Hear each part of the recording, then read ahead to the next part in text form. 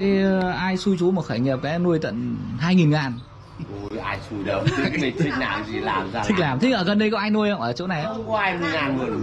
Thế mà liều vào hẳn 2.000 ngàn. Ờ 300 đến 200 Ờ. Thông thường các chú khởi nghiệp khởi nghiệp ít thôi. Chứ chú vào nghìn ngàn xong lại vào nghìn nữa thì sợ chú quá. Sáng nghe mày nó bảo có người nuôi 2.000 can ở đất này. Cái, là cái đàn đầu à? Thì mình không kinh nghiệm mình uống trên hơn trăm. Rồi. Cái đàn sau uống 12 ngày không chiên một con nào luôn. Đẹp như chanh luôn. Nuôi gà đẻ uống thế sau nó bình À. cái là dính đỏ Thế chứ là chú là nuôi gà đẻ chuyên nghiệp rồi đúng không? Cảm thấy Nuôi tự nuôi đá nuôi lợn thôi. cảm thấy tự tin là sang được con ngan. Đi sang như con ngan thì nó có dễ. Con vịt thì dễ lắm nhưng con ngan thì. Bảo con ngan. Nên các chú khuyên các chú là nếu mà khởi nghiệp nuôi ít thôi 500 thôi.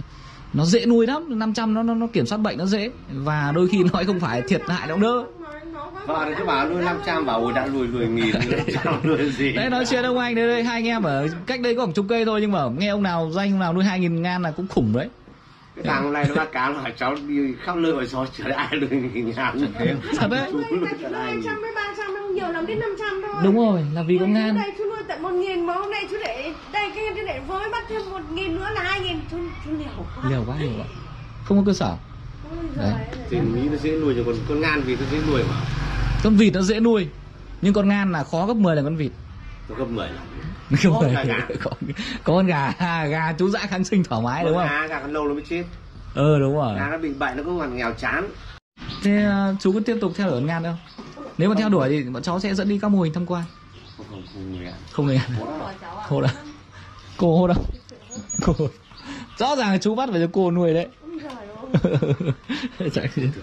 Sợ. Bốc cái sợ luôn Cái Đáng lẽ chú phải tìm hiểu trước Xong đó thì nuôi. Mình chú cứ nghĩ là mình cứ nghĩ con gà nó con vịt. Bác sĩ nuôi con gà đẻ mình nuôi năm bảy nghìn được. Ừ. quang. Sợ quá à. Không vẫn phải theo được. Không phải cố gắng hai đàn này Cố được gắng. bữa gà ít nào cứ thôi.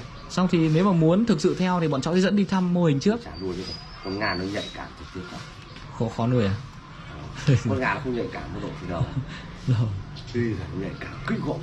Khó thực sự nó chứ mới nha qua nắng ấm thì mưa này cái không điện đóm cẩn thận phang này luôn. Chú thấy nó khó gấp 10 lần con gà không? ôi nó đúng chính xác nó phải gấp hàng người là con gà. Con gà bệnh thì bệnh vẫn chưa được nhỉ? Đúng rồi Đưa thuốc càng nặng càng nhanh khỏi đúng không? chính xác con gà đưa thuốc càng nặng cái này Đấy Là vì xã này thế chú tính cả xã ông nào nuôi Nuôi chỉ hai ba trăm thôi.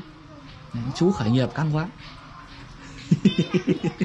Sợ Vừa ông anh đi chơi bảo Chưa nghe danh ai nuôi 2.000 ở đất này.